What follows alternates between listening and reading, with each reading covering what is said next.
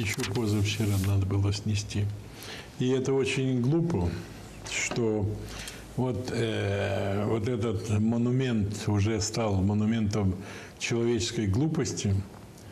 И меня поразило, когда некоторые премьер-министры говорили о том, что ее надо вернуть государству, что вот те, которые приватизировали как бы незаконно, и надо вернуть им деньги, а гостиницу вернуть государству.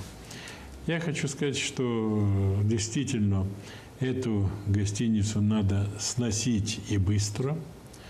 Построить там, я посмотрел, вот, что по, по телевизору показывали уже такие современные здания на этом пятачке. И это нужно делать быстро.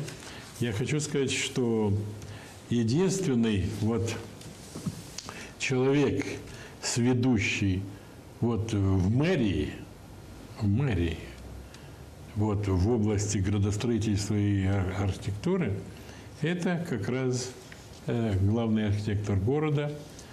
Э, Даготару. Да, Светлана Даготару. Она единственный понимающий человек.